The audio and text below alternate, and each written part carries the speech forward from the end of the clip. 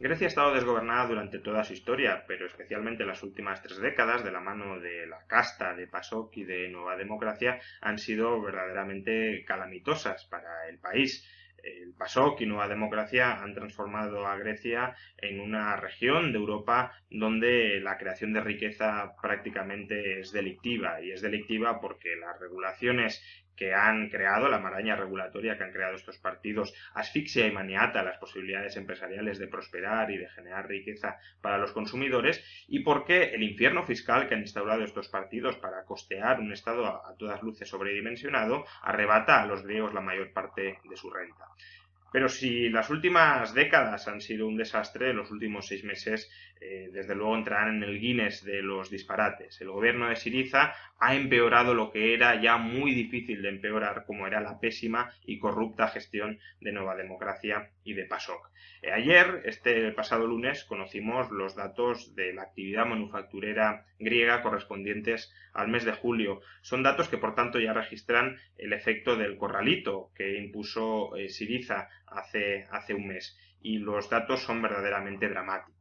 En el gráfico del PMI, que mide, como digo, la actividad manufacturera, podemos observar con claridad el mayor desplome de la historia griega en cuanto a actividad industrial es un desplome de una magnitud que solo podemos comprender adecuadamente si entendemos previamente qué significa el PMI. El PMI básicamente recoge las respuestas de los empresarios a una pregunta muy simple. Eh, ¿Su situación empresarial está mejor, peor o igual que el mes pasado? Si la situación está mejor, eh, le damos a este indicador un punto. Si la situación está igual, le damos a esta respuesta eh, un 0,5 puntos. Y si está peor, ponderamos este error por 0.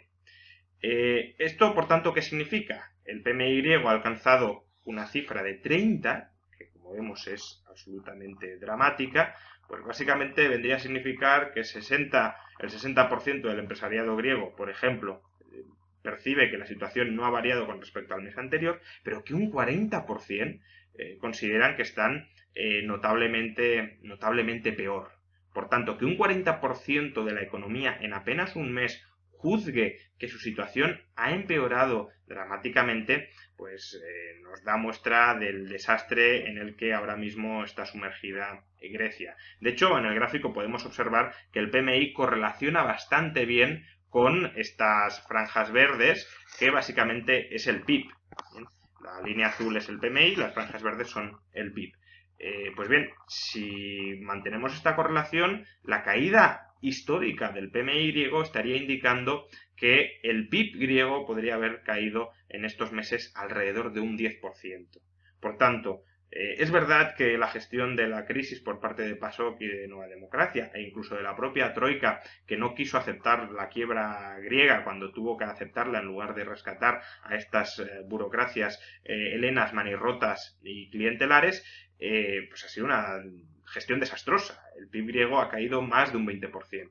Pero en estos últimos seis meses, en apenas seis meses, cuando además la actividad, como podemos ver aquí, ya estaba empezando a remontar, Siriza ha hundido la economía en más de un 10%. Es decir, lo que los otros partidos eh, consiguieron en eh, cinco años, hundir la economía griega un 20%, Siriza en seis meses ha emulado la mitad de ese destrozo. ¿Y a qué se debe la magnitud de este desplome? Pues básicamente, como ya hemos dicho, al corralito. Un corralito es cargarse directamente a la economía. Cualquier economía moderna depende de que el sistema de pagos pueda funcionar. El sistema bancario articula eh, el sistema de pagos. Si tú te cargas la actividad bancaria, te cargas el sistema de pagos y por tanto te cargas la economía real.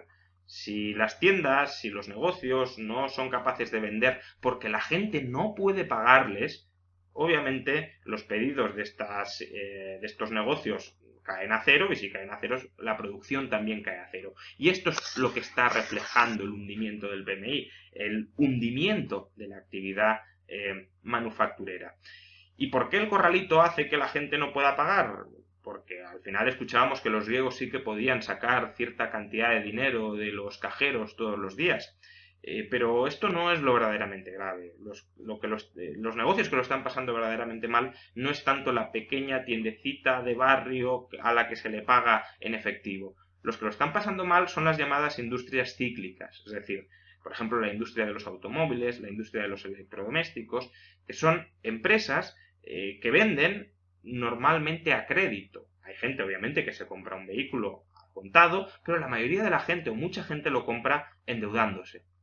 Imaginemos la situación de estos negocios con un corralito en marcha. Esto significa que los bancos no son capaces de extender crédito para financiar la compra de ningún vehículo y por tanto todas aquellas ventas de coches que dependían del crédito bancario se han hundido absolutamente durante este periodo. Y eso obviamente es cargarse la economía, es cargarse la división del trabajo y es cargarse la posibilidad de que las empresas funcionen porque te has cargado la banca.